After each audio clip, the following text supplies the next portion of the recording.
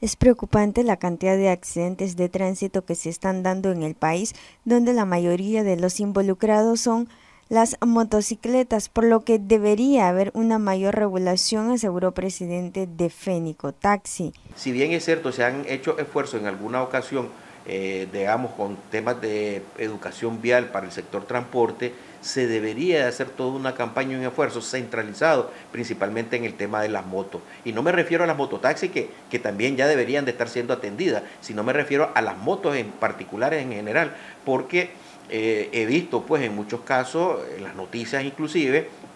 en un día siete personas fallecidas en accidentes de que iban en moto.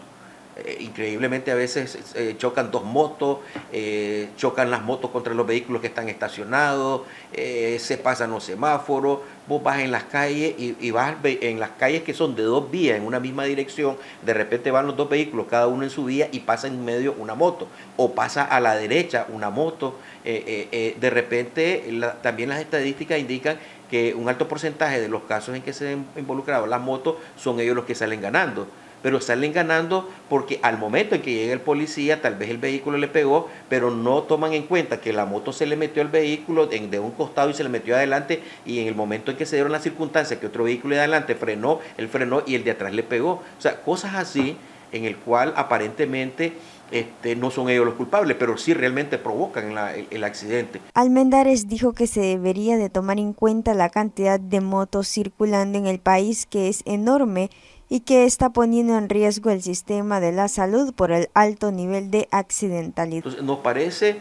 que se debería tomar muy en cuenta esto, eh, eh, la cantidad de motos circulando en el país es enorme, está poniendo en riesgo inclusive de forma general el tema de la salud, eh, el sistema de salud está siendo muy presionado por este nivel alto de, accidentalidad y, y como se pueden ver en las noticias, los daños que sufren las personas en las motos son bastante significativas, pues, y en su mayoría con fracturas fuertes, quedan con daños permanentes y, un alto número de fallecidos. Entonces creo que las autoridades policiales, el Estado debería poner principalmente atención y concentrar una, una, una campaña fuerte alrededor del tema de las motos. He visto que la policía hace un gran esfuerzo, pero creo que en el tema de educación, en el tema de las licencias que se otorgan, a, este tipo de, vehículos. Pues la, inmensa mayoría de la gente que se ve conduciendo en motos se ve con mucha facilidad que no tiene mucha pericia, mucha experiencia en el tema de la conducción y este, en, la,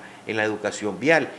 Del 11 al 18 de abril se contabilizan 21 muertos por accidentes de tránsito según la Policía Nacional. Noticias 12, Darlene Telles.